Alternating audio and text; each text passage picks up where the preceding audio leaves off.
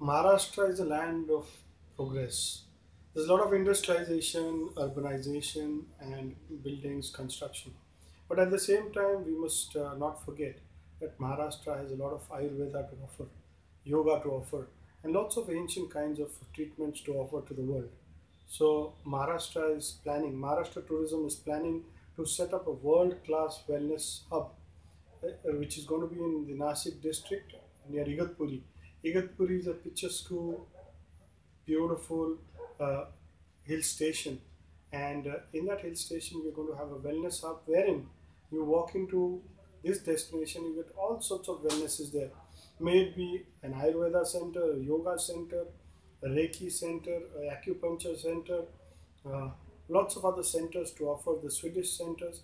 Everything what the world offers, we're going to offer it to you in one platter. So come, experience the wellness, the hospitality of Maharashtra. Visit Maharashtra, see it to believe it.